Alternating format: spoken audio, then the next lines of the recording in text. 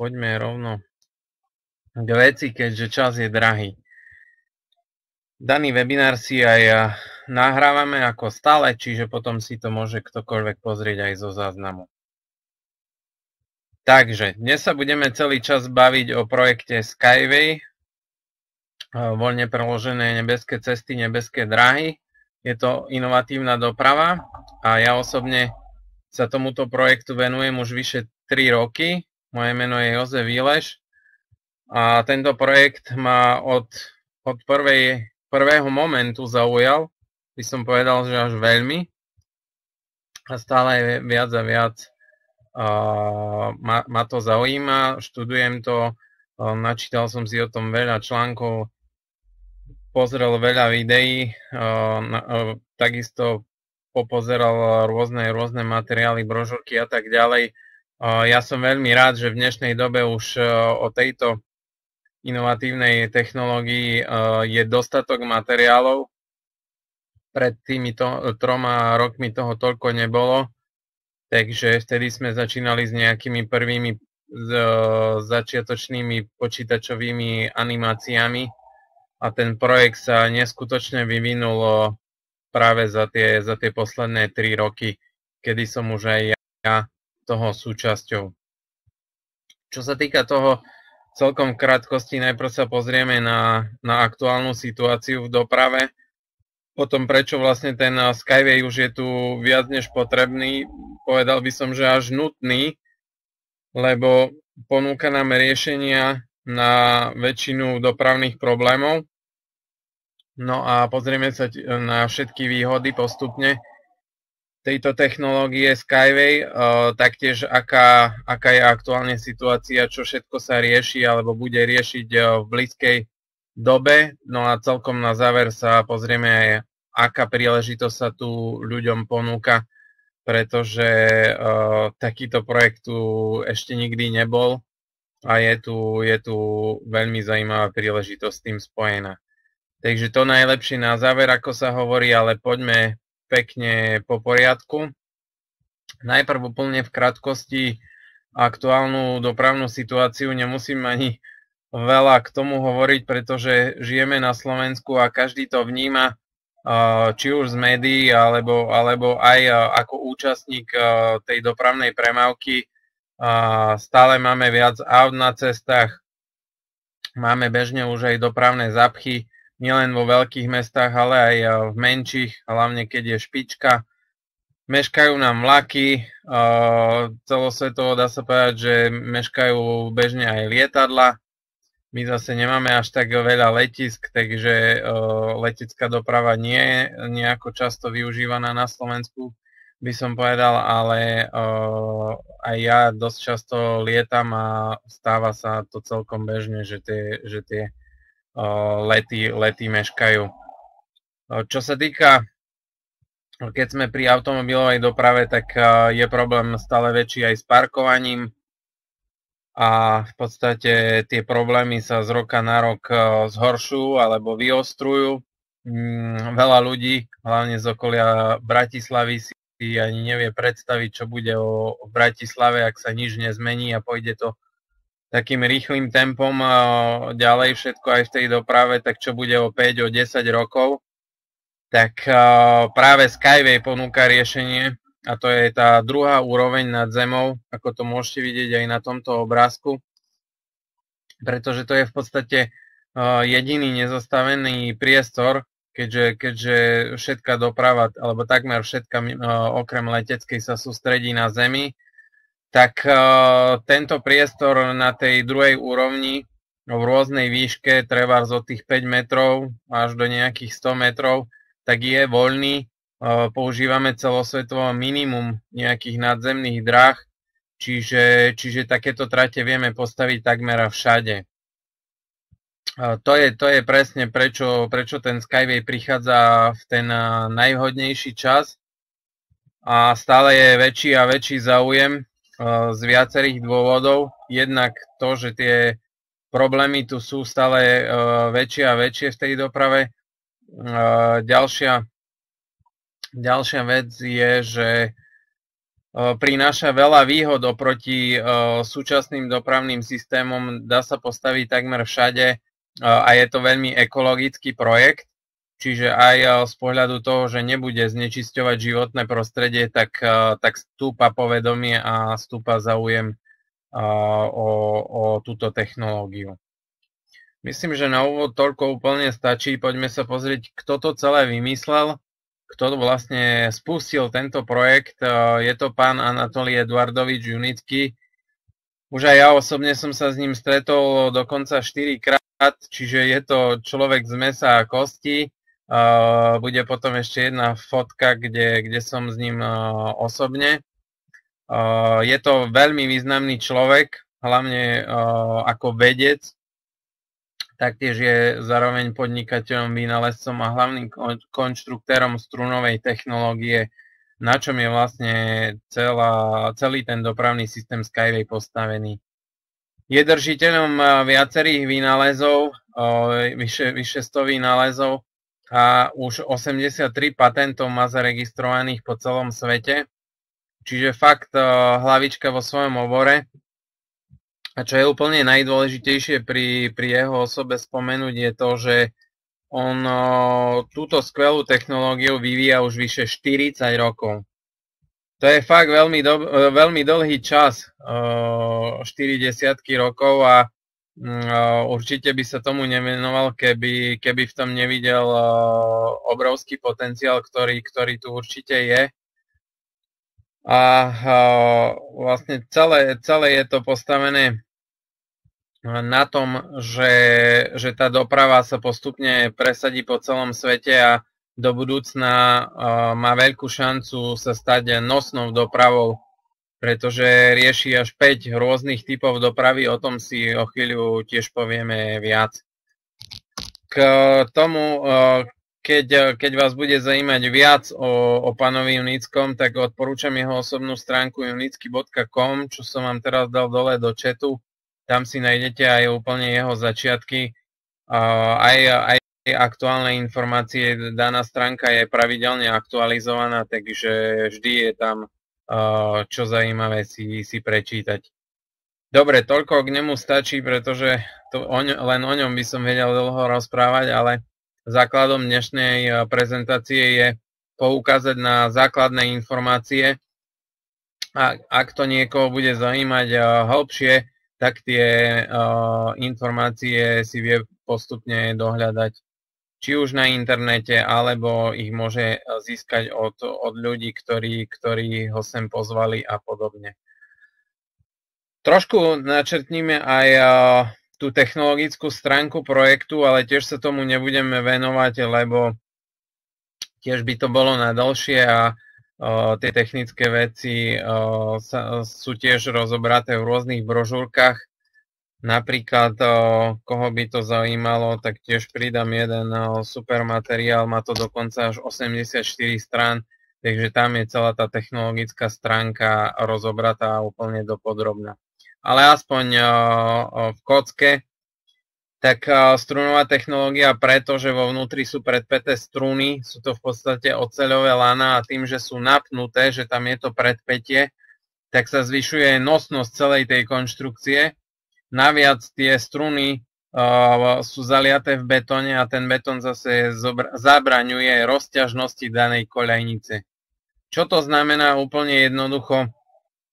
že tento dopravný systém bude použiteľný takmer všade a, a za každého počasia, či v extrémnych horúčavách, napríklad na púšti, treba v arabskom svete, alebo v extrémnych mrazoch, napríklad na, na Sibíri, alebo aj v Antarktíde dokonca sa dajú takéto trate postaviť. Samozrejme, že plánuje sa výstavba zatiaľ len v oblastiach, kde aj bude reálne využívaná, lebo zbytočne by sme postavili takúto trať niekde v Antarktíde, keď by, keď by ju skoro nikto nevyužíval, keďže daný kontinent zatiaľ nie je obývaný.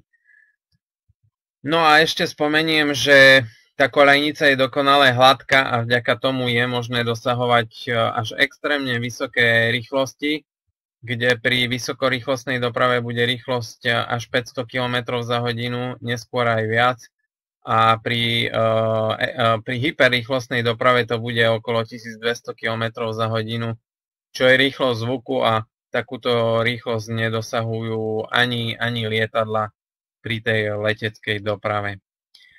Takže táto posledná, tento posledný typ, tá hyperrýchlostná ešte nie je, nie je ešte pripravená, čiže tá je vo vývoji. Je to ešte otázka určite niekoľkých rokov, kým sa bude dať zaviesť do reality.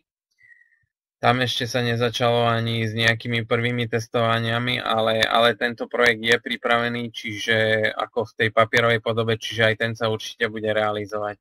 Ale my sa dnes budeme zameriavať hlavne na tie štyri hlavné typy.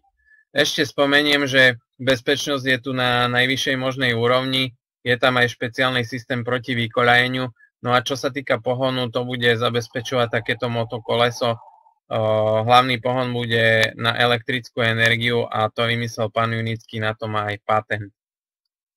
A teraz úplne tá najpodstatnejšia vec, čo si treba uvedomiť úplne jednoducho.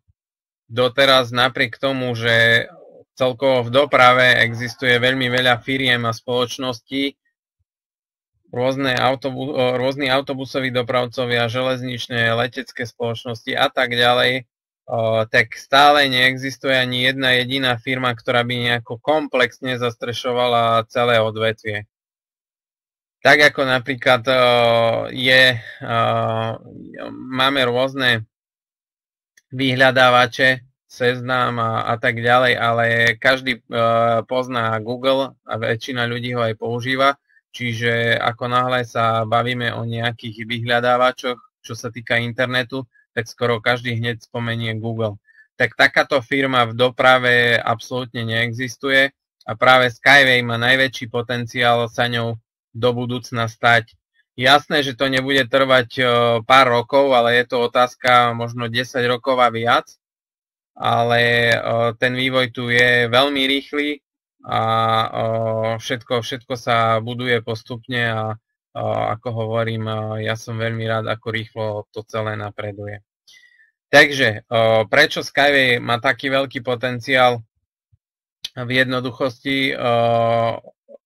V podstate kvôli tomu, že ide komplexne riešiť dopravu ako takú cez tých 5 typov, ktoré som už spomenul, ale teraz ich aj vymenujem, čiže 5.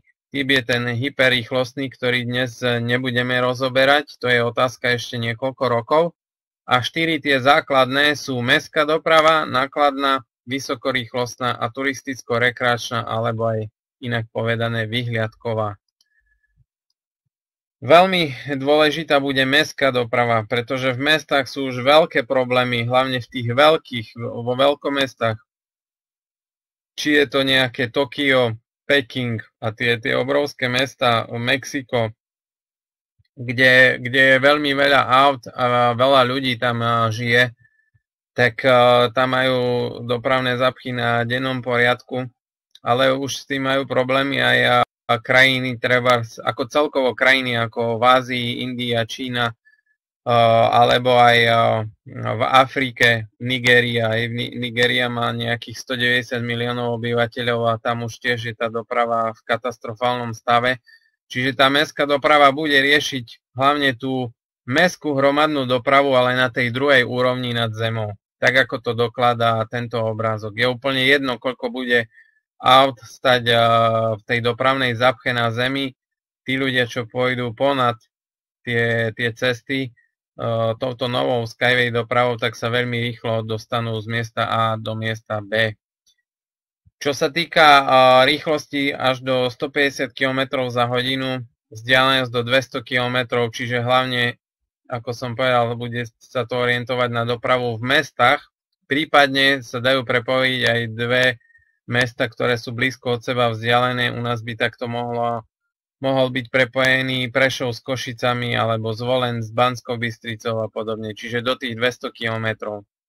Čo sa týka nákladnej dopravy, tak rýchlosť tiež veľmi, veľmi zaujímavá, až do 120 km za hodinu. Budú sa prepravať takmer všetky tovary, tuhé látky, sypké, kvapaliny, plyny, nebezpečný chemický tovar, napríklad aj nerastné suroviny, prosto čokoľvek a aj komplet celé palety alebo celé kontajnery.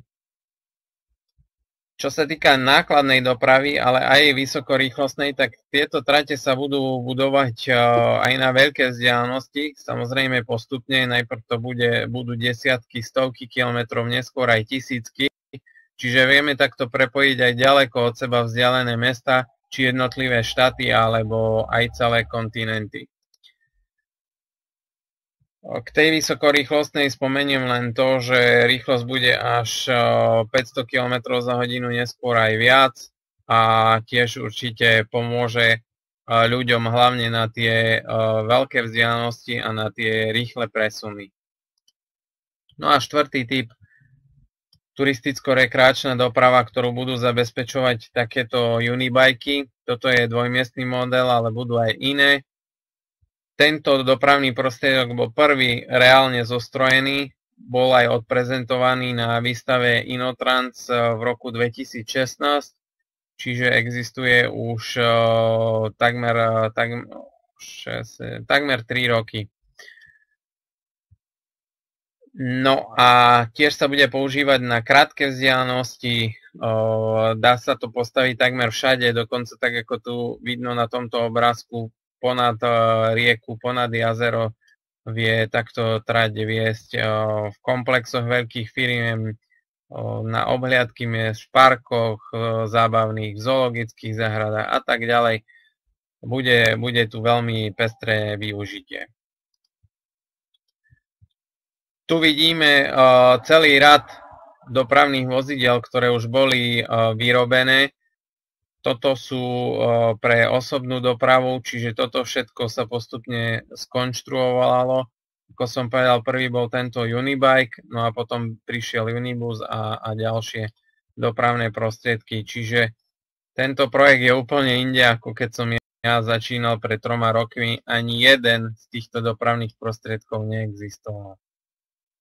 Až e, v novembri 2016 vlastne bol, bol spustený prvýkrát tento, tento Unibike. A ja som v projekte od júna 2016. Čo sa týka nákladnej dopravy, tak tam e, zatiaľ fungujú tieto dva dopravné e, prostriedky. Unitrack a Unitrans. Toto je niečo ako dopravník Momentálne sa dokončuje výstavba nákladnej kontajnerovej trate, čiže aj takéto kontajnery, ako sú tu dole na obrázkoch, sa budú dať prepravovať takouto, takouto dopravou, čo bude úplne super, pretože to podporí aj obchodovanie medzi krajinami a ja verím, že sa raz dočkame takejto trate až, až z Ázie, niekde z Číny do Európy a tie kontajnery, ktoré teraz vozíme na lodiach, tak budeme prepravovať po takýchto nákladných uh, tratiach od, od uh, Skyway. Čo sa týka tohto projektu, tak uh, je, to, je to veľmi široká tematika. Uh, samozrejme, že základom sú tie uh, trate a dopravné prostriedky, ale Skyway vyvíja aj ďalšie veci, ktoré či už priamo alebo nepriamo súvisia s dopravou. Budú sa budovať aj takéto strunové mosty, uh, jednak pre ľudí aj pre auta. Uh, taktiež uh, zostrojili takýto dron, ktorý bude pomáhať pri výstavbe v ťažko dostupných terénoch, ale napríklad sa bude dať používať aj na záchranárske akcie, stavebníctve a tak ďalej. To využitie tiež tu bude rôzne. Taktiež ďalším svetovým unikátom je takýto elektromobil pre zdravotne postihnutých. Ten je výnimočný v tom, že človek na invalidnom vozíku vie cez kufor nastúpiť do toho, vojsť do toho auta a vie potom ovládať ten automobil ako z pozície šoféra. Čiže tam nie je sedadlo, ale s tým invalidným vozíkom sa tam zacvakne a, potom, potom to môže ovládať. Čiže zatiaľ nič podobné žiadna firma doteraz nevy, nevyrobila. vyvíjajú aj ďalšie veci, nie všetko tu je zobrazené, len aby bola lepšia predstava, čo všetko, čo všetko tvoria a čo všetko postupne chcú uviesť na ten trh, nielen v doprave, ale možno aj v iných odvetviach. Na to, aby to všetko mohlo vzniknúť, tak bolo potrebné vybudovať ekotechnopark. Ten slúži ako také vývojové predvádzacie testovacie a certifikačné stredisko, Čiže najviac e, vecí sa odohráva práve tu.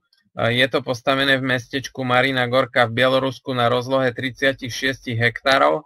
Toto je prvotný plánik ešte z roku 2013, kedy sa plánovalo vybudovať sa plánovali vybudovať tri trate, nákladná, mestská a vysokorýchlostná, ale povedal by som, že predstihli sme aj ten plán, pretože teraz sa stavia aj tá kontajnerová trať, je tam postavená aj ľahká trať pre, pre e, špeciálny dopravný prostriedok Univin, čiže oveľa viac je v skutočnosti postavené v tom ekotechnoparku, ako bolo pôvodne plánované. Čo je, čo je super, pretože väčšina firiem funguje ináč, majú nejaký plán a, a nie vždy ho, ho vedia splniť. Čiže Skyway bežne vyvíja veci, ktoré, ktoré prvotne ani neboli plánované a to sa mne veľmi páči. Tu je ešte uh, taká história o obrázkov, ako postupovala tá výstavba postupne v čase. Čiže, ako som povedal, prvý bol ten Unibike, potom tento na jar 2017 14 miestny Unibus, no a potom prišli aj ostatné dopravné prostriedky. Úplne posledný bol, bol vyrobený tento vysokorýchlostný dopravný prostriedok, ktorý bol prvýkrát odprezentovaný na výstave Inotrans v Berlíne, ktorá sa konala v septembri minulého roka. Samozrejme, že aj ja som sa osobne zúčastnil a nielen ja, ale všetci sme boli ohromení uh, jednak tým dizajnom a aj tým luxusom, ktorý daný dopravný prostriedok uh, poskytuje, pretože má také vychytávky, ako je napríklad aj masáž sedadla, čo určite nie je štandardom pri, pri doprave akejkoľvek. No a samozrejme je tam aj vyhrievanie sedadla, dá sa nastaviť klíma, osvetlenie, každý má pred sebou dotykovú obrazovku, kde si vie pozrieť nejaký nový film alebo pustiť obľúbenú hudbu. Taktiež tam je zabudovaná webkamera, čiže vie byť spojený aj s rodinou alebo so známymi, napríklad cestou na dovolenku. Čiže fakt e, takýto dopravný prostriedok pôsobí skoro až ako vesmírna raketa a dokonca jeden taký článok aj bol napísaný v jednom časopise, Čiže určite všetci, čo to videli na vlastné oči, tak, tak zostali v nemom úžase. A teraz cez víkend ja verím, že tento daný prostriedok uvidím prvýkrát aj, aj v prevádzke. Takže už sa teším. Rovno prechádzam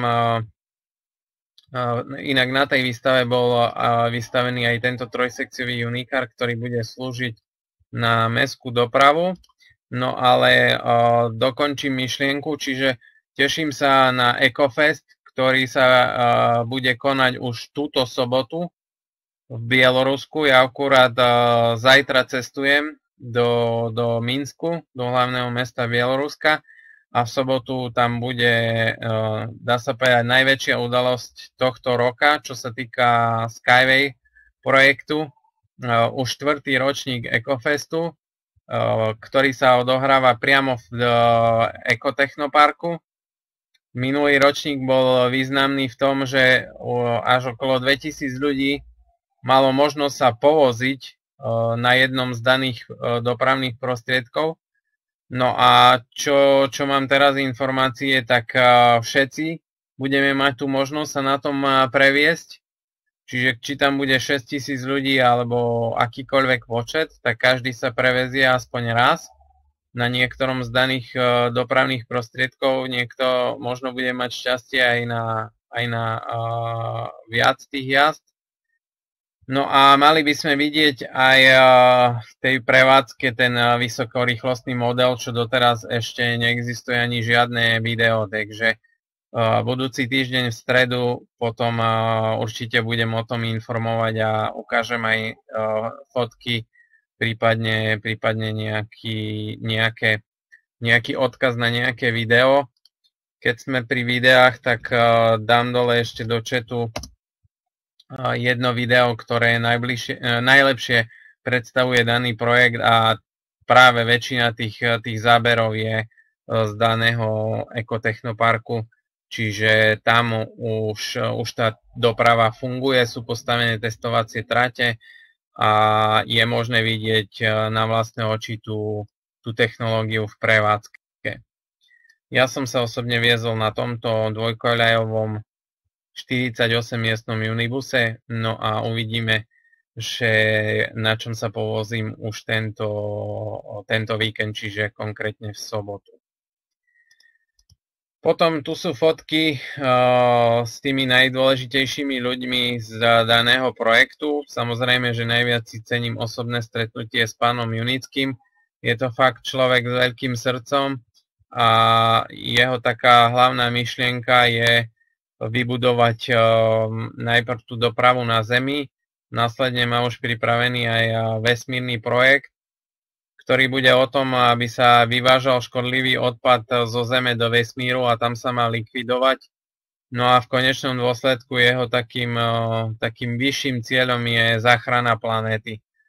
Jednak bavíme sa o Skyway ako ekologickom projekte, a ďalšia vec, aj ten vesmírny projekt je, je takto nastavený, takže ja verím, že uh, o pánovi Unickom sa raz budú učiť uh, deti aj v školách a, a sám som zvedavý, ako sa to celé bude, bude vyvíjať.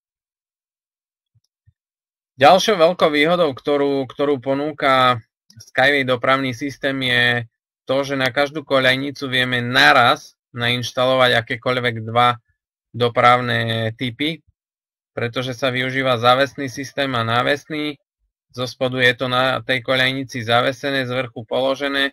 Tu je napríklad v popredí zo spodu mestská doprava, pozadí zo spodu nákladná doprava, z vrchu je vysokorýchlostná, ale treba nákladná kontajnerová doprava môže byť aj z vrchu, aj zo spodu, čiže dá sa to akokoľvek kombinovať. Samozrejme, že to pôjde oboma smermi a celý ten systém je plne automatizovaný, čiže nebude tam sedieť ani žiaden šofer a všetko bude ovládané počítačmi, satelitmi a tou najnovšou technológiou, ktorú v súčasnosti máme na tomto svete. Tento obrázok veľmi dobre ukazuje, že fakt tento dopravný inovatívny systém sa dá postaviť takmer kdekoľvek, dokonca aj na tej púšti a preto celý arabský svet, to sú krajiny okolo Perského zálivu pod skratkou GCC, ako je Bahrajn, Kuwait, Katar, Oman, Saudská Arábia a Spojené arabské emiráty, tak už prejavili záujem o Skyway projekt a chcú, chcú stavať tieto trate. Najväčší záujem je zo Saudskej Arábie a z Emirátov. Teraz sa hlavná pozornosť sústreďuje na Emiráty a k tomu si tiež neskôr povieme ešte trošku viac. Ešte spomeniem, že nie je potrebné ani budovať inžinierské siete a všetko je zabudované priamo v tej koľajnici. To, že, že Skyway je ekologický projekt, som už spomínal. Je to fakt jediná dopravná technológia, ktorá je priateľská k životnému prostrediu, čiže nebude ho nejako znečisťovať a aj vďaka tomu je možné Skyway postaviť dokonca aj v chránených územiach, kde je zakázaná každá, každá jedna doprava alebo každý jeden dopravný systém, ktorý v súčasnosti existuje. Takže práve aj z, tej, z pohľadu tej ekológie, čiže keďže už máme dosť zničenú tú planétu a je na čase niečo robiť pre jej záchranu, tak je Skyway projekt kľúčový a dokonca Skyway spoločnosť už nadviazala spoluprácu aj s OSN, čiže nie s hociakou organizáciou, ale priamo z OSN a budú, budú pomáhať práve v týchto eko otázkach aj, aj ohľadom toho vesmírneho projektu a, a, a tak ďalej. Čo sa týka otázky bezpečnosti, tak Skyway sa dá jednou vetou zhrnúť ako najlacnejšia, najrychlejšia, najbezpečnejšia, najspolahlivejšia a najekologickejšia doprava, aká kedy bola vymyslená. Tá bezpečnosť bude samozrejme prvorada. Dokonca to bolo porovnávané treba s automobilovou dopravou, kde Skyway je až 10 tisíc krát bezpečnejší. Už len tým, že táto doprava bude na tej druhej úrovni, tak sa zvyšuje bezpečnosť minimálne 100 násobne. Sú tam tri hlavné dôvody, prečo je tomu tak. Poprvé, nehrozí zrážka s dopravnými prostriedkami, pretože ako som povedal, skoro celá dopravná infraštruktúra sa sústreďuje na zemi, autobusy, vlaky, električky, auta a tak ďalej. Čiže uh, tam je vylúčená akákoľvek zrážka. Taktiež uh, je vylúčená zrážka s chodcami a po tretie uh, aj so zvieratami, pretože aj u nás sa stáva bežne, že skočí jeleň, srna, diviak, pes pod auto a hoci kedy to končí aj dosť tragicky. No a tieto, tieto veci tu vôbec nehrozia. Naviac je tam ten špeciálny systém proti vykoľajeniu a len ten sám o sebe tiež zvyšuje bezpečnosť minimálne 10 násobne. Jedným z cieľov spoločnosti Skyway je práve začať znižovať nepríjemné štatistiky úmrtí. Napríklad aj na cestách ročne zomrie už okolo 1,5 milióna ľudí a veľmi veľa má trvalé následky pri celkovo pri rôznych dopravných nešťastiach, takže určite aj preto ten Skyway si verím, že nájde to pevné miesto medzi súčasnými dopravnými systémami, keďže, keďže tá bezpečnosť je, je fakt dôležitá. Teraz už prichádzame k jednotlivým projektom. Celkovo už je uh, vyše 200 projektov rozpracovaných po celom svete, ten záujem o danú technológiu neustále rastie. Tu sú vypísané výhody, ktoré nám ponúka dopravný systém Skyway, čiže veľmi nízke náklady jednak na výstavbu, ale aj na prevádzku. Napríklad nízka energetická náračnosť, plnú automatizáciu som spomínal, vysokú rýchlosť, takisto ďalšia vec bez negatívnych vplyvov na človeka. No a veľmi dôležité je aj rýchla návratnosť investície. To zaujíma hlavne investorov, ako rýchlo sa im vrátia náklady, keď, keď chcú postaviť takéto trate. Tak pri meskej trase by to malo byť za nejaké 3 roky a pri vysokorýchlostnej zhruba nejakých 7 rokov čo je veľmi, doba, doba, veľmi dobrá doba návratnosti, pardon, v porovnaní napríklad s výstavbou diálnic, železnic alebo aj metra, čo sú oveľa drahšie dopravné systémy a tam je návratnosť 15, 20, 30, niekedy aj viac rokov. A to je jeden z hlavných dôvodov, prečo tá doprava je v takom zlom stave a z roka na rok sa zhoršuje, pretože mnohé krajiny si nemôžu e, dovoliť stavať nové diálnice, alebo nové železnice, či, či niekde metro. My na Slovensku asi nikdy nebudeme mať postavené metro, ale to, to trate by sa nám určite zišli, hlavne v Bratislave a postupne aj v ďalších mestách na Slovensku. Čo sa týka, budú sa budovať aj líniové mestečka, čiže nielen tie trate, ale komplexne tá infraštruktúra. Napríklad majú v Abu Dhabi takýto púštny ostrov, ktorý sa celý dá zazelené a vybuduje sa komplexný mestský dopravný systém. Jednak to bude všetko navzájom poprepájané v rámci ostrova, ale aj s pevninou. Dokonca tie prestupné stanice sú zároveň polifunkčné budovy a tam sa bude aj bývať. Čiže ľudia si tam budú platiť prenajmy bytov a o, to bude tiež ďalší príjem pre firmu. Takže je to spojené aj s developerskými projektami. A takéto líniové mestečko má v Abu Dhabi vzniknúť do roku 2030, kedy už vlastne komplexne to bude postavené. Samozrejme, že tie trate sa budú budovať oveľa rýchlejšie, ako, ako budo, vybudovať celé takéto mesto, líniové mesto alebo inteligentné mesto, po anglicky aj smart cities, ale ten, eh, ten pohľad eh, bude určite úžasný, pretože eh, pán Junický by chcel dosiahnuť to, aby sa ľudia naspäť vrátili viac k prírode.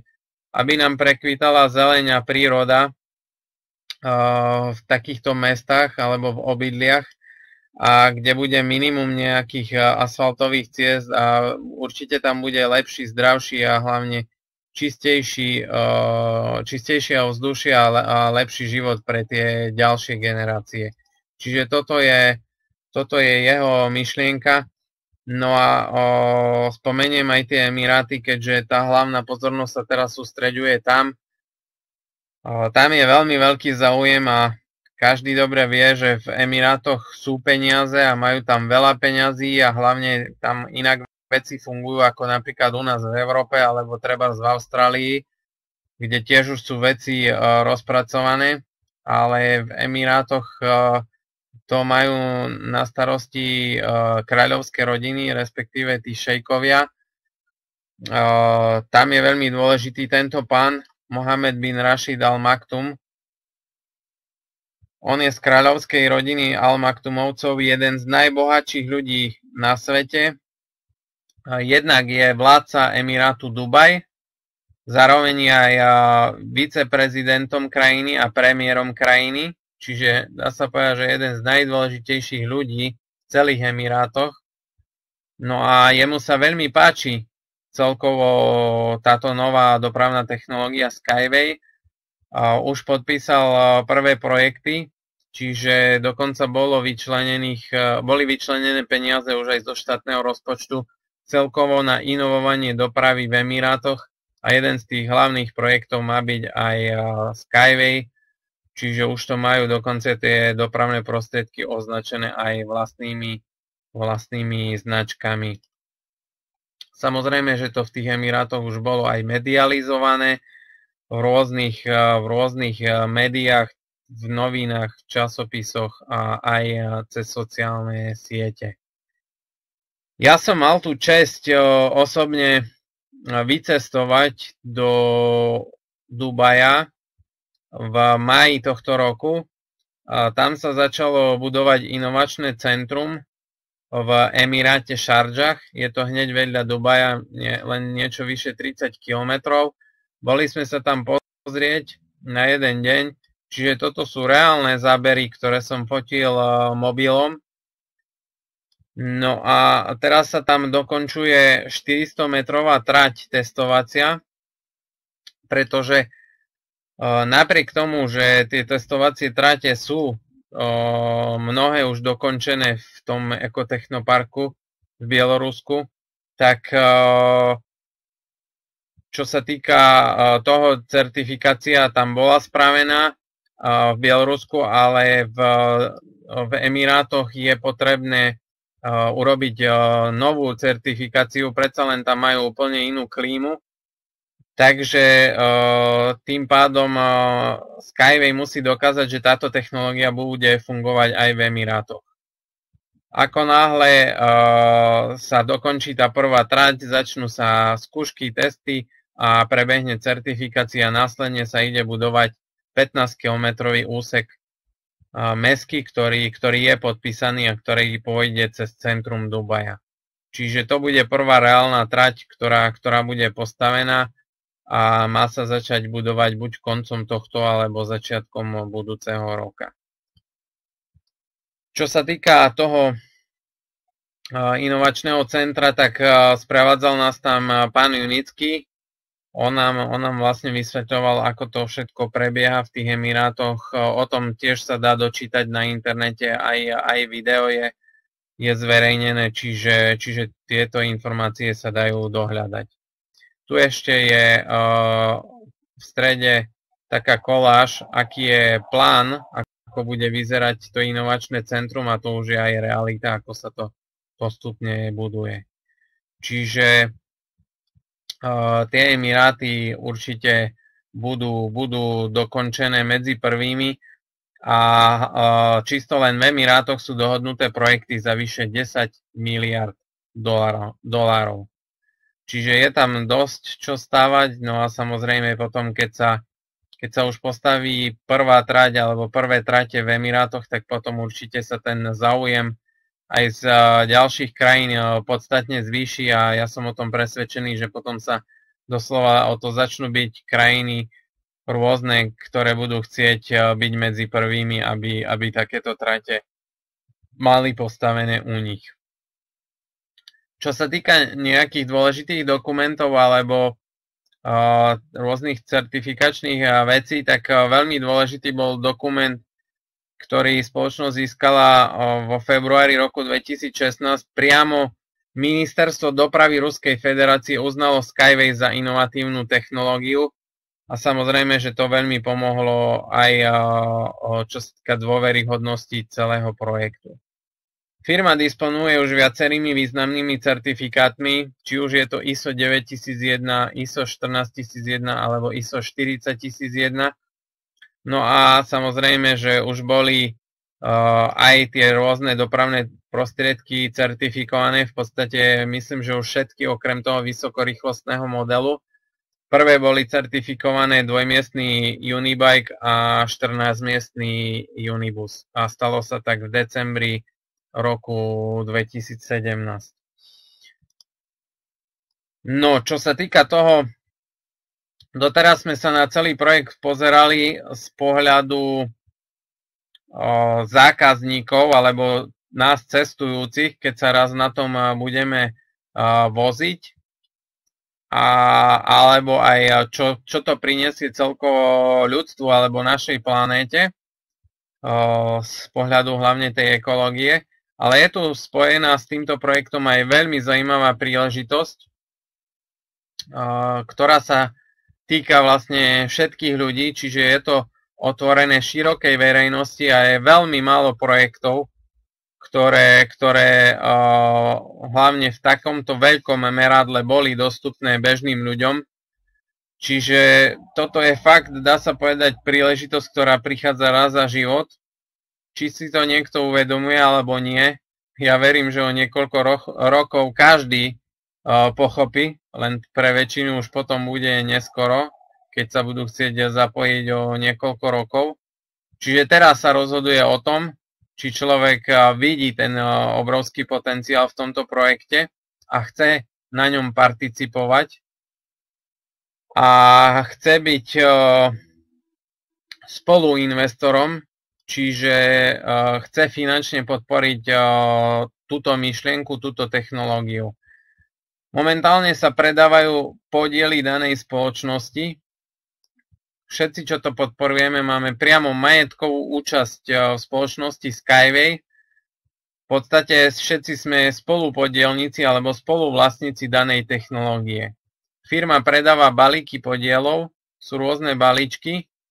Momentálne nám končí 13. etapa, celkovo je 15 etap tej startup fáze, pretože stále sme v prípravnej fáze pred tým hlavným vstupom na trh a preto sú tieto podiely oveľa väčšej zľave, ako potom, keď už, e, keď už e, firma vstúpi oficiálne na trh a neskôr aj na burzu, tak tie e, podiely, ktoré potom už budú reálne obchodovateľné akcie, budú podstatne drahšie a tí ľudia, ktorí si to budú kupovať napríklad o rok, o dva, respektíve priamo na tej burze, tak, tak to budú už kupovať za, za oveľa väčšie peniaze.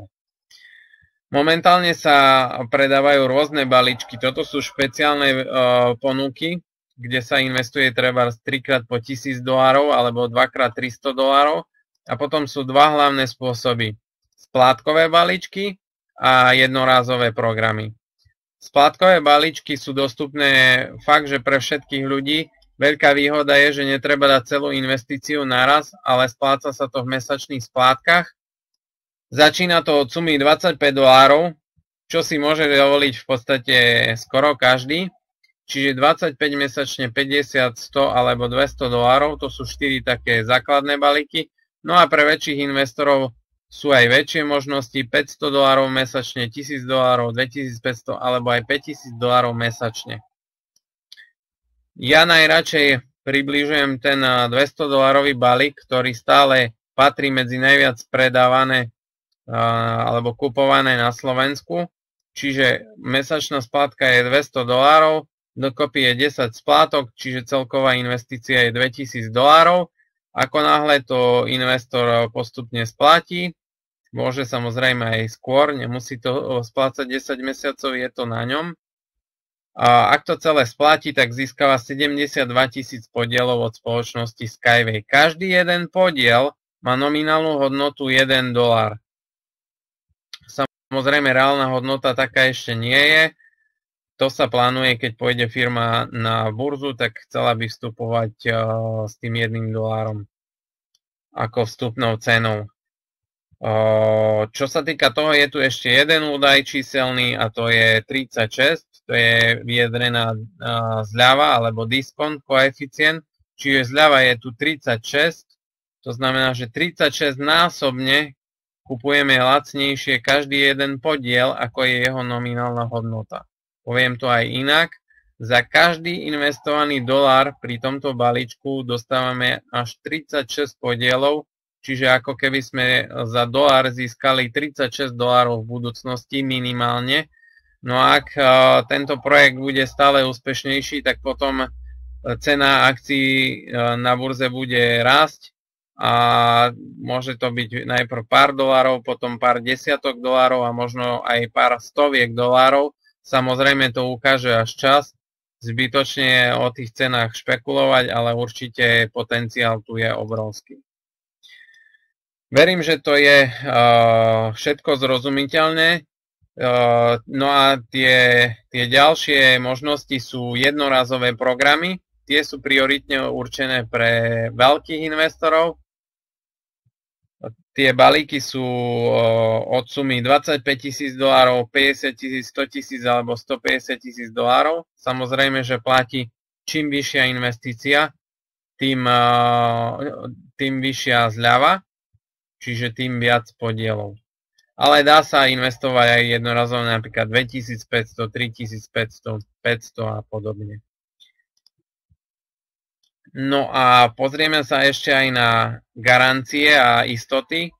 To ľudia najradšej počúvajú, aj keď treba si uvedomiť, že každé investovanie so sebou prináša aj nejaké rizika Samozrejme, že tu je to riziko už oveľa menšie ako pred troma rokmi, pretože ten projekt, ako som povedal, veľmi rýchlo napreduje a v podstate už všetko je vymyslené a v podstate vyvinuté.